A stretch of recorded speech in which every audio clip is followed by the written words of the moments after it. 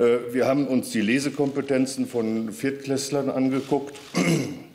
Wir machen das in regelmäßigen Abständen. Ähm, es haben, ich bin jetzt auf Seite 5, nicht? es haben relativ viele Länder und wichtige Länder teilgenommen. 47 Länder haben insgesamt teilgenommen.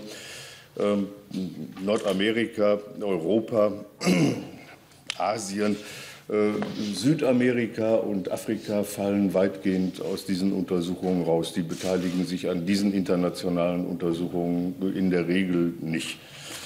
Äh, der Rest schon.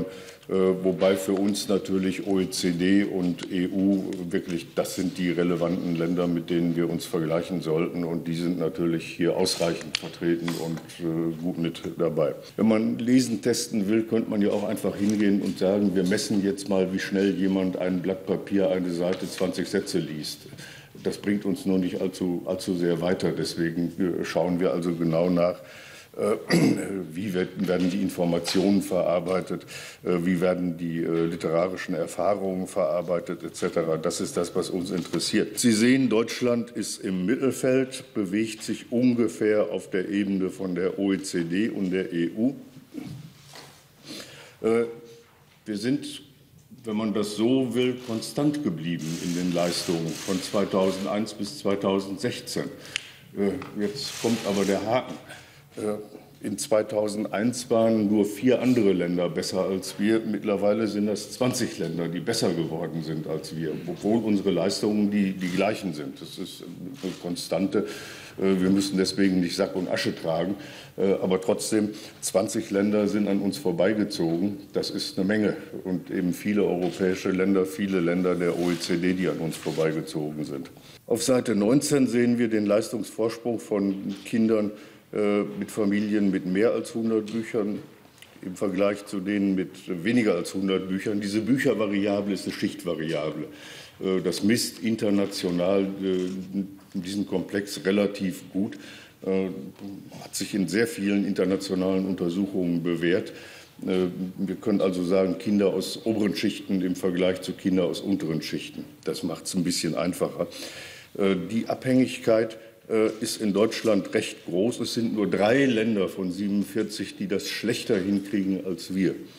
Das Ungarn, äh, Bulgarien und die Slowakei. Alle anderen Länder kriegen das besser hin als wir.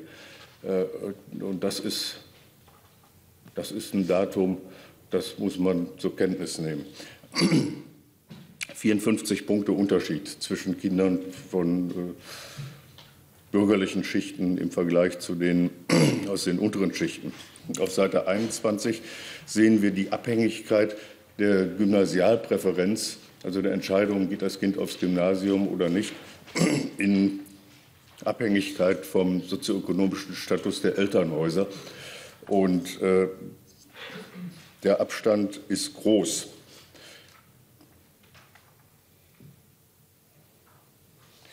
Wir hatten im Jahr 2001 ähm, einen Abstand, äh, den kann man beziffern. Die Chance, äh, die Gymnasialempfehlung zu bekommen, war 2,6-fach so hoch, wenn das Kind aus oberen Schichten kam. Äh, mittlerweile ist die Chance auf 3,4 gestiegen. 3,4-fach ist die Chance besser, wenn ein Kind aus den oberen Schichten kommt, die Gymnasialempfehlung zu bekommen, als wenn es aus unteren Schichten kommt. Und äh, diese Verschlechterung, äh, die, die, muss man zur Kenntnis nehmen. Wir werden eine gezielte Unterstützung für leseschwache Schülerinnen und Schüler äh, fordern müssen. Äh, wir werden das Gleiche für unsere äh, Top-Leser äh, fordern müssen. Also wir müssen an beiden Enden arbeiten, sowohl am unteren als auch am oberen. Wir werden verstärkt den Einsatz von Sachtexten im Leseunterricht und eine gezielte Förderung von wissensbasierten Verstehensleistungen daran herangehen müssen. Die Chancengerechtigkeit, also da muss dringend dran gearbeitet werden. Das, denke ich, ist aber allen Beteiligten, äh, die hier sitzen und die damit zu tun haben, aber auch vollkommen klar. Wir werden äh, verstärkt äh, Leseförderung in der Sekundarstufe 1 betreiben müssen. Denn wir wissen, dass 18,9 Prozent am Ende der vierten Jahrgangsstufe praktisch ganz schlecht lesen können. heißt das für die Sekundarstufe 1, es muss in der Klasse 5 und 6 nachgearbeitet werden. In der Regel sind aber unsere Lehrerinnen in der Klasse 5 und 6 dafür nicht ausgebildet. Äh, das ist eine Riesenaufgabe, die uns da erwartet, das also wirklich nachzuqualifizieren. Insgesamt ähm, sind äh, die Ergebnisse für Deutschland nicht wirklich äh, positiv zu bewerten. Wenn man ehrlich ist, sind wir natürlich nicht vollkommen überrascht von den Befunden, weil ähm, sie das bestätigen, was die aktuellen IQB-Ländervergleichsstudien uns gleichsam schon mitgegeben haben. Und ähm, wir wissen, ob der Herausforderungen, die gerade Grundschullehrerinnen und Grundschullehrer ähm, in ihren Schulen an der täglichen Arbeit haben. Deshalb ist es im Grunde eine Bestätigung. Man kann sagen, dass äh, Deutschland, Herr Boos hat es ja dargestellt, äh, sein Niveau gehalten hat, die anderen aber besser geworden sind. Und dem, vor dem Hintergrund ist Stagnation natürlich Rückschritt. Und äh, deshalb äh, muss man das sicher im Gesamtkontext so auch offen ähm, ansprechen. Seit 2011 und natürlich seit den Jahren davor umso mehr hat sich die Schülerschaft äh, in den Schulen grundlegend ähm, verändert.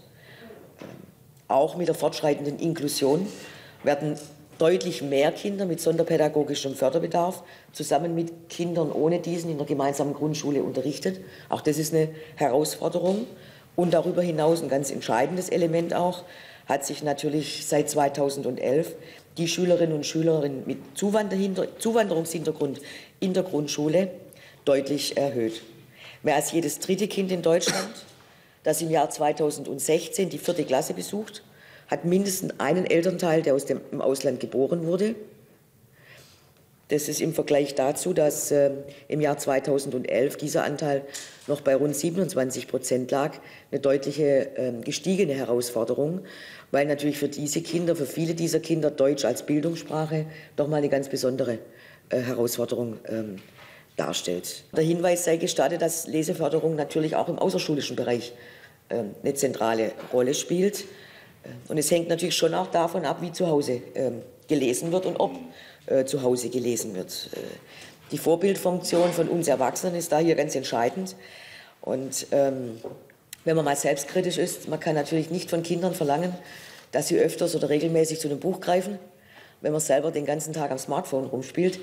Ähm, natürlich ist auch der Einsatz von digitalen Medien heute, was die deutsche Sprache angeht, was der Umgang mit Sprache angeht, trägt natürlich auch zu einer Veränderung bei, aber da haben natürlich wir Erwachsene eine Vorbildfunktion, die ich an der Stelle durchaus auch deutlich ähm, äh, erwähnen möchte. Für uns ähm, heißt es, ähm, ausgehend von IQB, aber natürlich jetzt auch von ICLU, dass wir uns die Entwicklungstrends als Länder äh, genau anschauen. Wir haben ja, ich sagte es eingangs bereits, die Bestätigung dessen, was wir schon seit längerem sehen.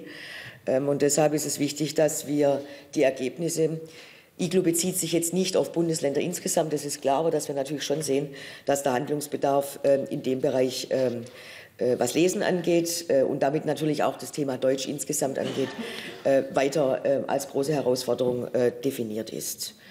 Übrigens möchte ich auch ausdrücklich sagen, dass es die Chance für den Bildungsföderalismus ist, nämlich die Chance, voneinander zu lernen.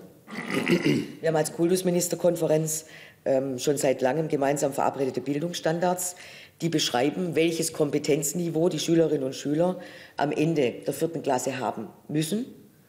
Äh, die sind in der Kult KMK äh, seit langem definiert. Das ist auch richtig ähm, und es ist wichtig. Und wir müssen uns bemühen, die Rahmenbedingungen in den Schulen so zu schaffen, dass äh, diese Kompetenzziele dann auch erreicht werden können. Das heißt, die kontinuierliche Weiterentwicklung der Unterrichtsqualität bleibt eine zentrale Aufgabe in ganz Deutschland.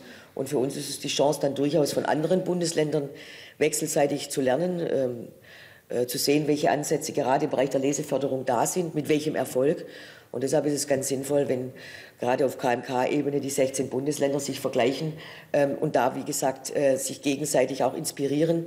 Äh, die Ansätze, die Initiativen, die gerade in diesem Bereich ähm, Lesen ist das eine, ergänzt sich ja dann auch um Schreiben und äh, deutsche Sprachkompetenz insgesamt, hier dann äh, dementsprechend sich gegenseitig auch herauszufordern. Wie gesagt, auch wir nehmen die IGLU-Studie ähm, wieder als Maßstab dafür, dass wir in diesen Bereichen äh, das ist, glaube ich, nicht zu bestreiten, klaren Handlungsbedarf haben äh, und diesen auch in den Mittelpunkt äh, unserer Arbeit in den nächsten Monaten und Jahren stellen müssen und stellen werden. Vielen Dank.